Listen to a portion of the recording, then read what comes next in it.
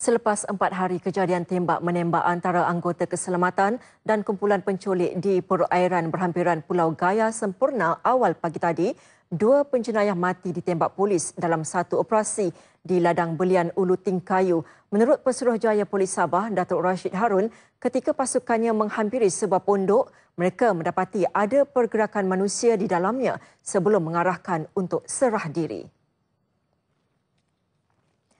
Dalam kejadian 1.30 pagi, kumpulan penjenayah itu pada mulanya tidak mengendahkan arahan tersebut. Sebaliknya melepaskan beberapa das tembakan. Selepas berlaku tembak-menembak selama 1 hingga 2 minit, pasukan polis melakukan pemeriksaan di kawasan berkenaan dan mendapati dua lelaki masing-masing berusia 30-an dan tidak mempunyai pengenalan diri.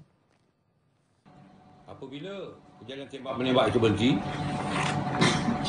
pemeriksaan telah dibuat oleh pihak polis dapati terdapat dua orang lelaki.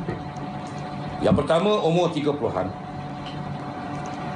tiada pengenalan diri dijumpai daripada badan lelaki tersebut. Okay. dan yang kedua juga umur 30-an tak ada pengenalan diri juga Polis turut menjumpai dua laras senapang patah buatan sendiri, satu pucuk pistol jenis Colt Point 4, satu pucuk revolver Point 38, beberapa butir peluru hidup dan kerongsong, satu senapang angin, pisau, parang dan beberapa peluru M16. Daripada siasatan awal, peluru M16 tersebut disahkan bukan milik pasukan keselamatan. Turut ditemui tiga paket plastik Lutsina dipercayai dadah jenis syabu.